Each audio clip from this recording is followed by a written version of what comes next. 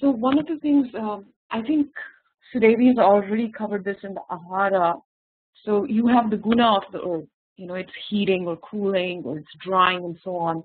And the karma of the herb depends on the guna. So if ginger, um, you know, is heating, then it'll help kapha and vata person. And it, the karma also affects the dosha. But prabhava is an action which is independent, it's mystifying, and I think Susan uh, Sudevi has been discussing it. And prabhava is independent of what the guna is. For example, if uh, haritaki, I'm just going to write that down,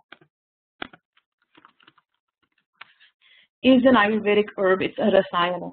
That means it is it's a tonic. Now, you know, the guna of haritaki is extremely drying, and dry things would normally harm a vata person. But guess what? Haritaki is the best herb for Vata person. It is Vata Anulom and it is Vata Shamana. And can anybody tell me what Vata Anuloma means? Anuloma brings the Vata down. So even though it is the most drying herb, it is the best for Vata. Thank you. So this is a prabhava. It cannot be explained. It is something that is given by Mother Nature. It is given by uh, moon, Soumya, the cooling rays of the, the moon, Soumya.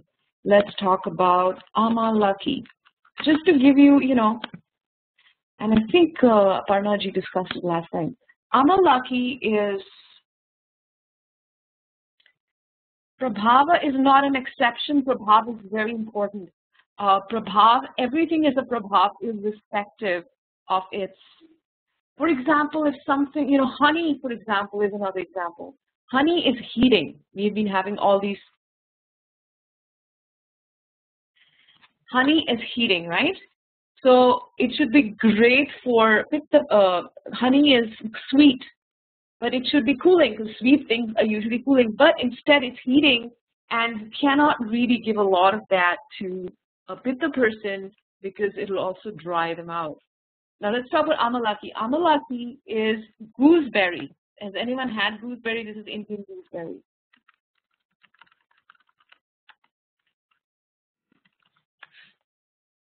And the pradhana rasa. Pradhana means dominant rasa. Dominant rasa, pradhana rasa is sour. Is are sour things good for pitta or not? But amalaki is Pitta Shaman, it is the best Pitta Shaman. It is the best herb for Pitta person because of its prabhava that cannot be explained. It cannot be explained. It's given by, it's a divine thing. Not every herb is like that. I'm specifically giving example of herbs that, um, you know, kind of are mystifying.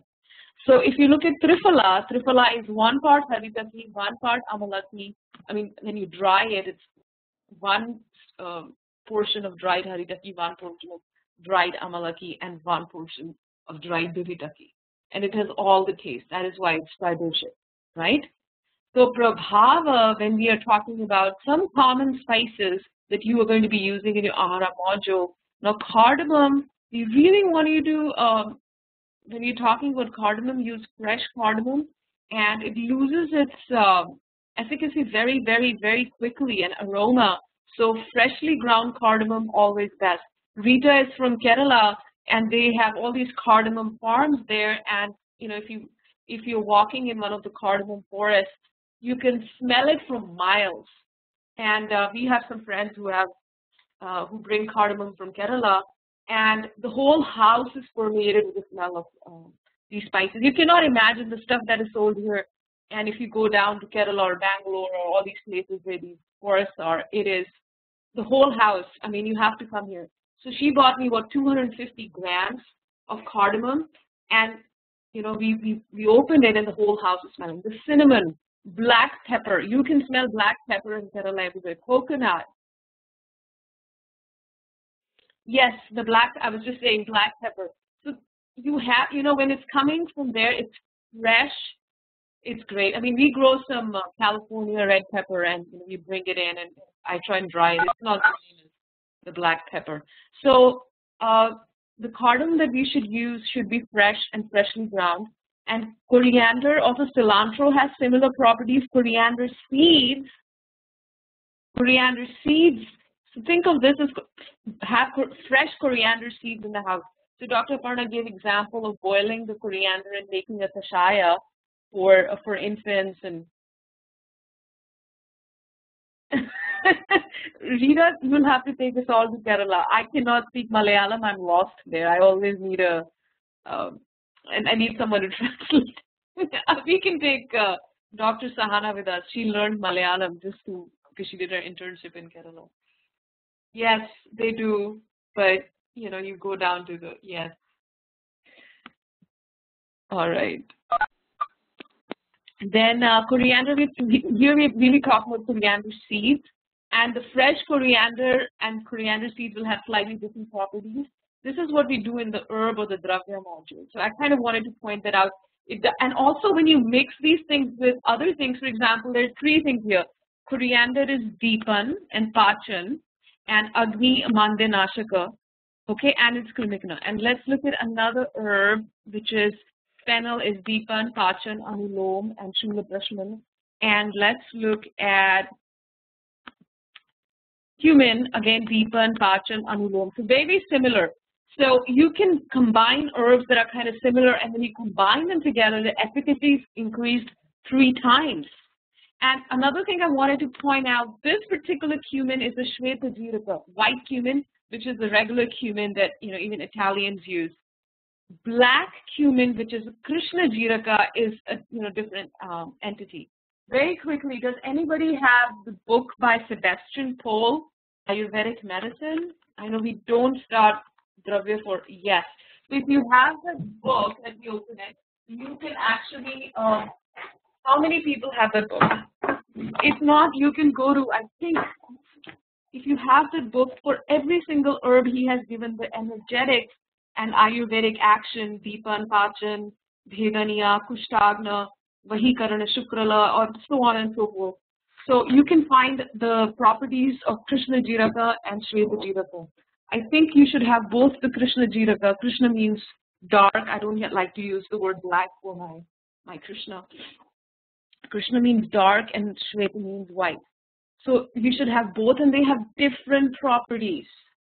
Okay? Hingu is a Sanskrit word. Now Hingu, you really don't want to combine with, with anything because it's so strong.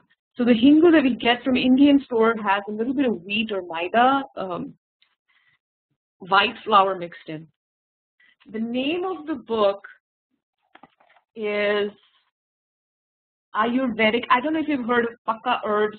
He, yes, it's called Ayurvedic Medicine, The Principles of Traditional Practice.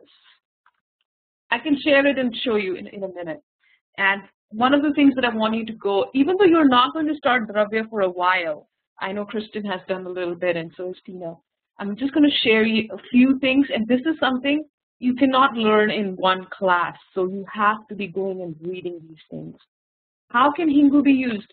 So one of the children on, you know, like uh, I think Tina and Kristen, you came in the last year's workshop on Ayurvedic herbs. So one churnam is called Hingavashta churnam.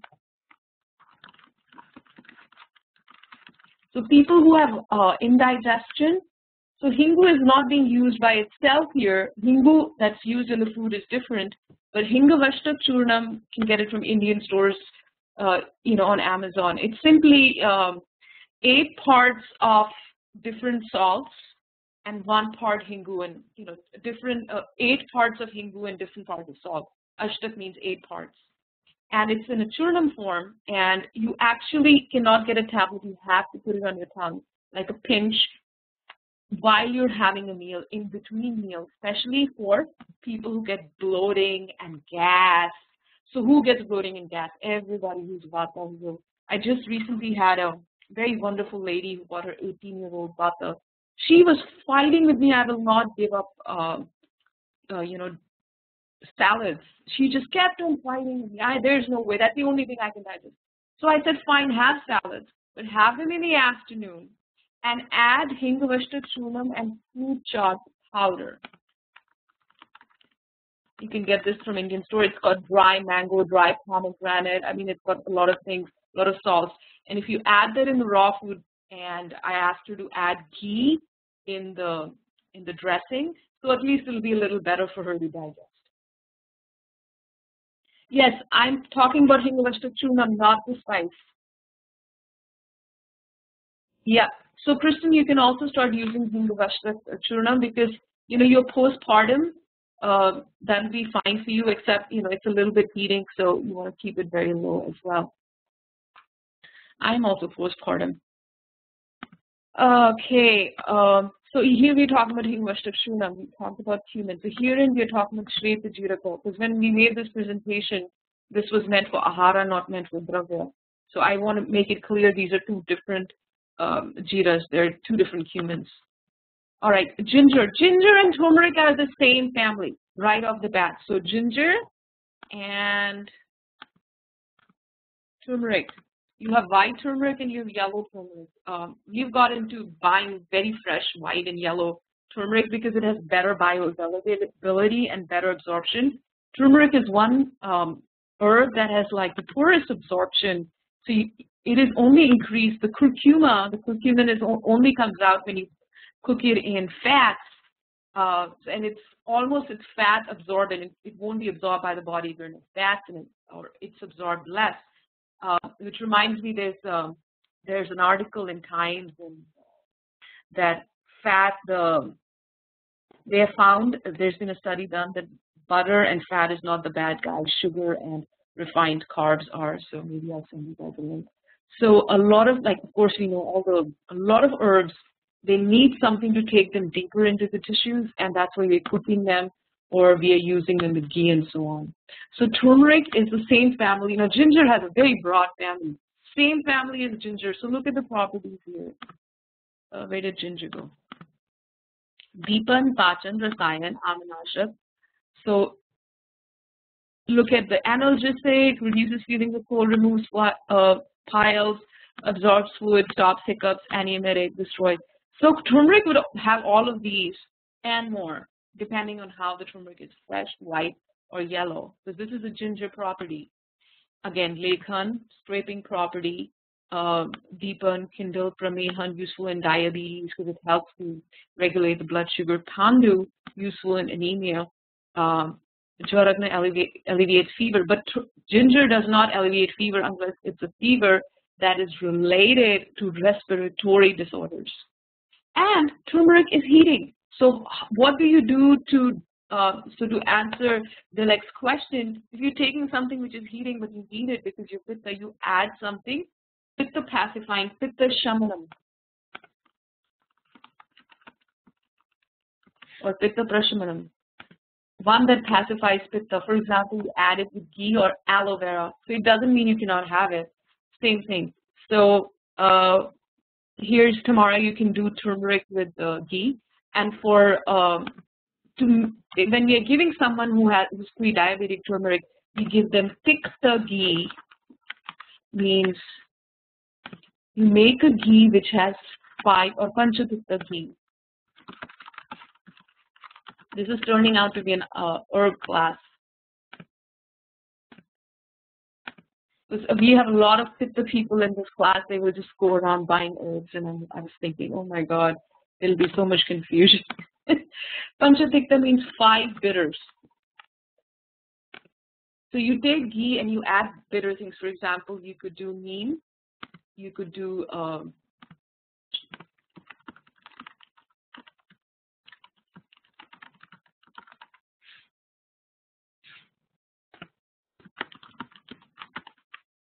Okay. This is my formula neem, chardonica, turmeric, karela, jamun, these five herbs cooked in ghee. But this is not a traditional panchatikta ghee, five bitters. Neem powder. And then the efficacy is increased a lot. Uh, okay. So what kind of jwaragna, that's different. So again, you will learn this in the Dravya module. It, there's seven or eight different kinds of fever. This is a block three topic.